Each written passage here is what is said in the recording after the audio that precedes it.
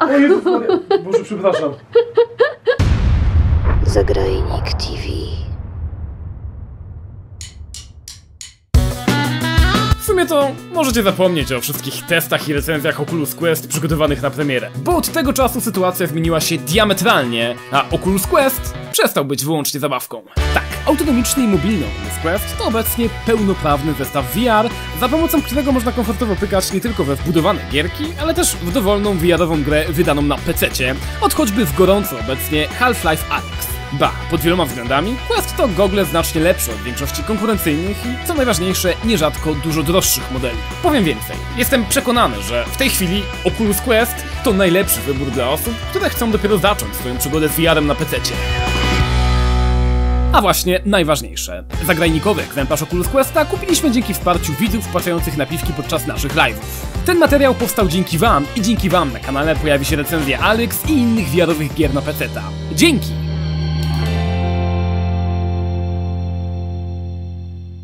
Ja wiem, ja wiem, że dla wielu osób VR nadal jawi się jako zbędny gadżet i ślepa odnoga ewolucji gamingu. Szczególnie pośród tych, którzy nigdy z VR-em nie mieli do czynienia, panuje często przekonanie, że to droga i niepotrzebna zabaweczka.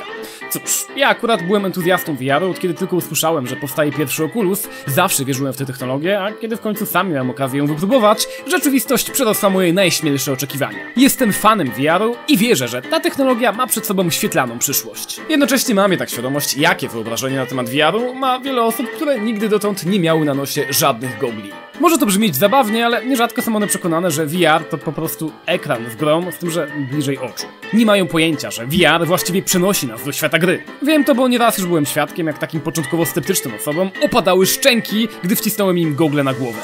Więc nawet jeżeli na papierze VR wydaje się być kosztowną fanaberią albo cudowaniem, to uwierzcie. Akcji VR robi piorunujące wrażenie i warto się o tym przekonać na własnej skórze przynajmniej raz. Tym bardziej, że na pełnoprawny zestaw VR, na którym można pograć w prawdziwe, wysokobudżetowe gry, pozwolić sobie może obecnie większość graczy, nie wydając jednocześnie oszczędności życia. Jednym z takich relatywnie tanich modeli VR-owych gogli do wszystkiego jest właśnie Oculus Quest. Mimo, że początkowo zdawało się, że jest zupełnie na odwrót. Od pierwszych zapowiedzi Oculus Quest miał być bowiem modelem wyjątkowym, bo cechującym się przede wszystkim tym, że nie będzie można podłączyć go do PC-ta i nie będzie można grać na nim w gry ze Steama. Zamiast tego Quest miał być jednak pozbawiony kabli, a dzięki wbudowanym całkiem niezłym podzespołom można było go odpalić i zanurzyć się w wirtualnej rzeczywistości w dowolnym miejscu i czasie. Mobilność, autonomiczność i świetna specyfikacja w połączeniu z dość niską jak na Google VR ceną, około 2,5 tysiąca złotych, spowodowały, że nowy sprzęt od Oculusa jawił się jako ciekawy gadżet, nawet pomimo niemożności podłączenia go do PC-ta. I cóż, tak właśnie było. Oculus Quest spotkał się z niezwykle entuzjastycznym przyjęciem prasy i użytkowników i w ciągu zaledwie kilku miesięcy sprzęt Facebooka sprzedał się w aż 400 tysiącach egzemplarzy. Tuż po premierze Oculus Quest niemal jednogłośnie okrzyknięty został rewolucją, mimo że rewolucją miał się dopiero stać. Zacznijmy jednak od tego, co dokładnie zachwyciło wszystkich w Oculus Quest. Bo choć w założeniu są to gogle mobilne, to ich specyfikacja niemal w niczym nie odbiega od tego, czym cechują się nierzadko znacznie droższe modele stacjonarne. Przede wszystkim imponująca jest jakość obrazu wyświetlanego przez Google. Każdy z dwóch ekranów ma otóż rozdzielczość 1440 na 1600 pikseli, co oznacza obraz dokładnie tak samo ostry jak w przypadku znacznie droższych modeli HTC Vive Pro czy Steam Index. Do tego są to ekrany OLED, co gwarantuje znacznie lepsze odwzorowanie czerni niż w przypadku LCD, z której to technologii korzysta taki właśnie Index. Natomiast tak samo jak Index, Vive i inne znacznie droższe zestawy i w przeciwieństwie do także budżetowego modelu Oculus Rift S, Quest posiada aż dwa ekrany, po jednym na każde co oznacza, że można regulować ich położenie i dopasować gogle do kształtu twarzy i rozstawu oczu. I wbrew pozorom to naprawdę ważna wiadomość, bo źle dopasowane gogle potrafią całkiem zrujnować VR-owe doświadczenie. Jedyną płaszczyzną, na której Quest wyraźnie odstaje od konkurencji jest częstotliwość odświeżania obrazu na poziomie 72 Hz. To fakt, większość konkurencyjnych modeli odświeża swoje matryce niewiele szybciej, bo z częstotliwością 90 Hz, ale już przy takim indeksie, wyciągającym nawet 144 Hz, Quest wypada blado. No, a przynajmniej na papierze, bo osobiście w najmniejszym stopniu nie odczułem wolniejszej matrycy Questa, w którym obraz jest po prostu doskonale płynny. Co jednak ciekawe, tak naprawdę OLEDy w Questie mogą być odświeżane z częstotliwością 90 Hz, tylko są zablokowane programowo. Nie jest więc wykluczone, że w przyszłości pojawi się łatka zdejmująca to ograniczenie i tym samym eliminująca jedną z największych, według wielu, bolączek Questa. Bez zarzutu jest natomiast czas reakcji matrycy w przypadku Oculus Questa, co oznacza zupełny brak smużenia. W ogóle kilka słów na temat tego, jak wygląda obraz w goglach VR, dla tych, którzy nigdy nie mieli żadnych gogli na nosie. Zaledwie przed kilkoma chwilami z moich ust padło stwierdzenie o ostrości obrazu. Cóż, w rzeczywistości jest to pewne nadużycie, bo w chwili obecnej właściwie żadne gogle nie oferują faktycznie ostrego obrazu. Nawet w modelach o najwyższej rozdzielczości, a zalicza się do nich m.in. Quest, pojedyncze piksele są wyraźnie widoczne, a małe obiekty znajdujące się dalej są już ewidentnie rozpikselowane. Mało tego, nadal zauważalny, choć już ledwo ledwo, jest tak zwany screen door effect, czyli szczeliny pomiędzy pikselami. Nie jest to już ani w ułamku tak dotkliwe jak w goglach sprzed kilku lat, acz obraz nadal pokrywa niezwykle drobna siateczka, którą widać szczególnie wyraźnie, gdy patrzy się na jednolitą powierzchnię. Mniejsze jest też w goglach pole widzenia, bo przecież obraz wyświetlany jest tylko przed naszymi oczami, a nie wszędzie wokół. Nie sposób pozbyć się więc poczucia, że patrzy się na wirtualny świat przez wizjer w kasku, choć z drugiej strony nie jest to wcale tak dotkliwe, jak mogłoby się wydawać. Ostatnie specyficzne cechy obrazu VR to różne zniekształcenia widoczne na krawędziach i wynikające z właściwości szklanych soczewek. Od aberracji chromatycznej, czyli rozszczepienia światła na kilka kolorów, przez mniej ostry obraz po nieznaczne jego zakrzywienie. Aha, no i specyfiką VR-u tak ogólnie jest jeszcze to, że wirtualne obiekty znajdujące się bardzo blisko oczu stają się nieostre. I choć mam świadomość, że lista bolączek współczesnego VR-u może się zdawać dość długa, to tak naprawdę w akcji przestają mieć one jakiekolwiek znaczenie. Gdy tylko odpalimy grę, zanurzymy się w wirtualnej rzeczywistości, a przed naszymi oczami zaczną się przewijać liczne, dynamiczne obrazy, przestajemy zauważać piksele, szczeliny i inne bolączki. Po prostu błyskawicznie ulegamy iluzji, że jesteśmy w innym świecie. I choć z VR-em mam do czynienia już od ponad roku, za każdym razem przeżywam to samo zdumienie, gdy po dłuższej sesji zdejmuję gogle. Wow. A więc tak naprawdę ciągle byłem w swoim pokoju. Wow. No dobrze, ale wróćmy do Oculusa. Poza imponującym jak na swoją cenę jakością obrazu, w dniu premiery zachwycił on przede wszystkim mobilnością. Po pierwsze dlatego, że jako jedyny poważny zestaw VR śledzi on ruchy głową bez użycia żadnych zewnętrznych akcesoriów, jak kamery czy stacje bazowe, a wykorzystując do tego jedynie wbudowaną aparaturę. I Quest udowadnia, że wszelkie dodatkowe urządzenia śledzące, wymagające czasochłonnego rozstawiania, konfiguracji i oczywiście kabli, są już obecnie zbędne. Bo w Questie śledzenie ruchu działa bezbłędnie i jedyna sytuacja, w której zdarza mu się pogubić, to gra w pełnym słońcu. A ustalmy, to raczej nie zdarza się zbyt często. No i najważniejsze, mobilność Questa to możliwość korzystania z niego gdziekolwiek, bez potrzeby podłączania do PC. Żeby wejść do wirtualnej rzeczywistości, Google wystarczy po prostu założyć i już! Po kilku sekundach wybudzają się z uśpienia, pamiętając wyznaczone wcześniej granice bezpiecznej strefy, lub jeżeli Google wykryją, że jesteśmy gdzie indziej, pozwalając szybko, łatwo i przyjemnie wyznaczyć nową strefę. A po chwili można już odpalać zainstalowane gierki i aplikacje. I pewnie Quest nie dysponuje zbyt imponującą mocą obliczeniową, porównywalną z flagowym smartfonem sprzed kilku lat, więc wybór gier jest dość ograniczony, ale już takie VR-owe klasyki jak Beat Saber, Superhot czy VR Chat działają na nim doskonale i wyglądają równie dobrze co na dużych platformach. Jednakowoż nie ma co ukrywać, wybór aplikacji jest tak ogólnie dość ograniczony, zaś ich ceny w większości wypadków zaporowe. Ostatnie, za co w dniu premiery chwalono Questa, to wykończenie. Całość wykonana jest otóż z solidnego plastiku, wygląda ładnie i jest wygodna, dzięki wyścielaniu wnętrza miękką gąbką, ale najistotniejsze jest pewne mocowanie gogli na głowie. Z tego wszystkiego wyłania się obraz gogli nieprzyzwoicie wręcz tanich, jak na możliwości, jakie oferuje. W dniu premiery wszyscy jednak założyli, że niewygórowana cena związana jest z niemożnością podłączenia Questa do PC-ta. I powiedzieli, okej, okay, coś za coś, to uczciwy układ.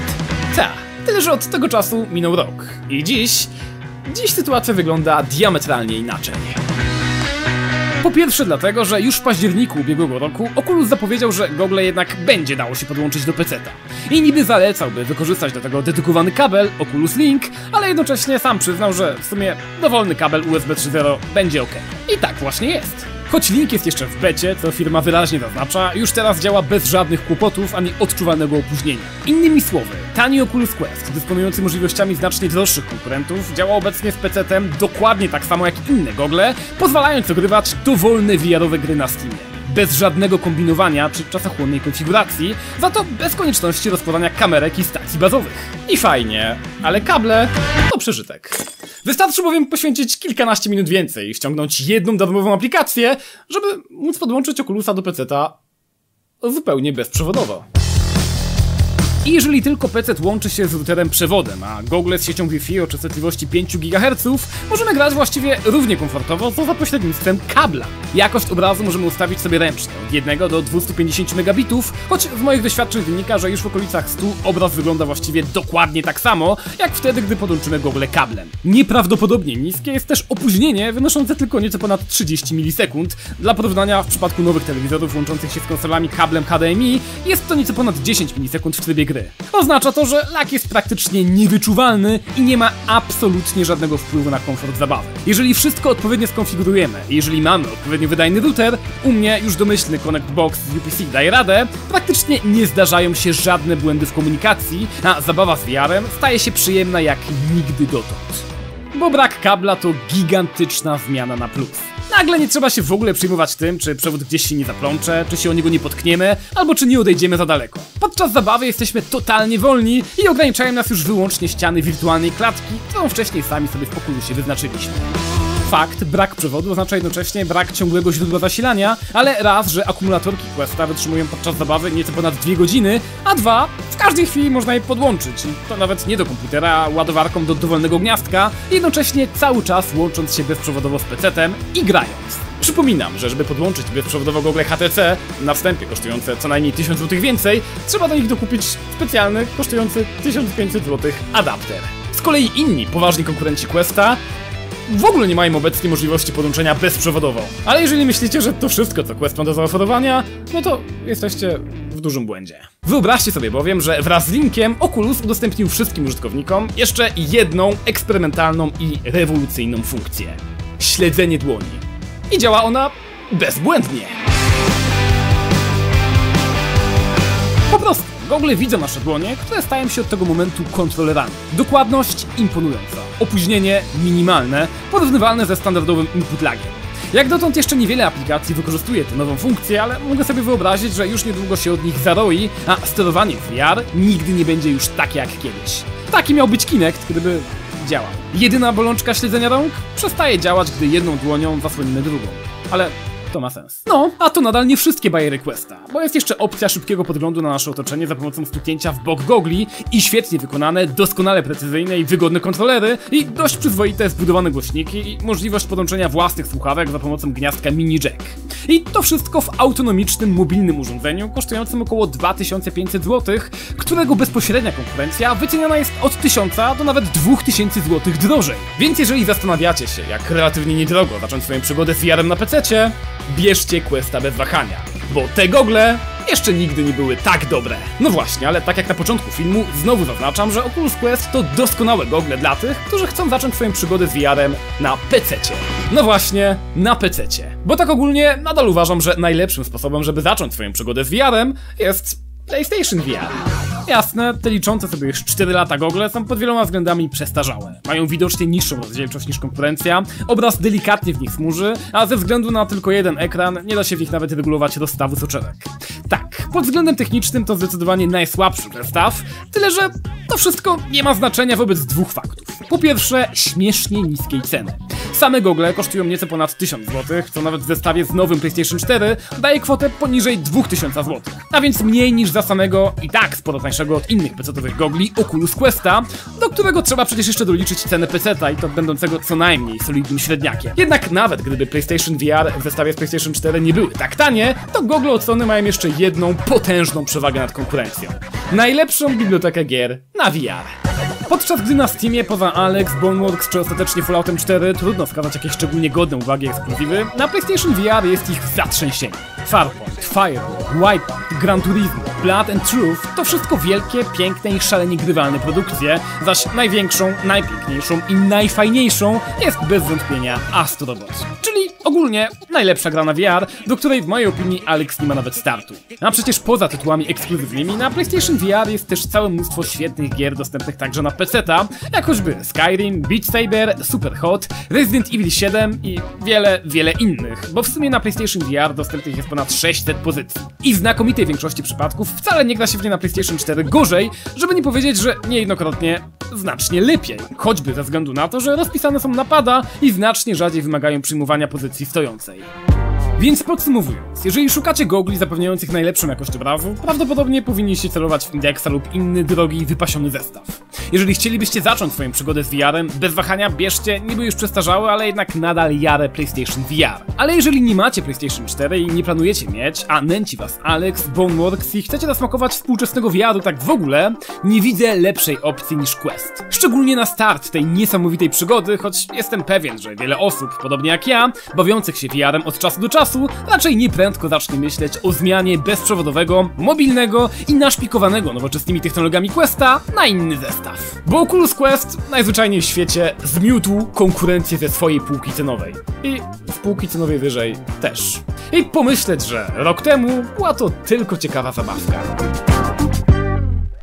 To dajcie znać, co wy myślicie o Questie i czy jaracie się VR-em tak w ogóle, czy też raczej was to nie kręci. A może jest tu ktoś, kto jeszcze nigdy VR-u nie próbował? Piszcie w komentarzach, a jeżeli podobał wam się ten film, koniecznie zostawcie suba i łapkę w górę. No i cóż, trzymajcie się!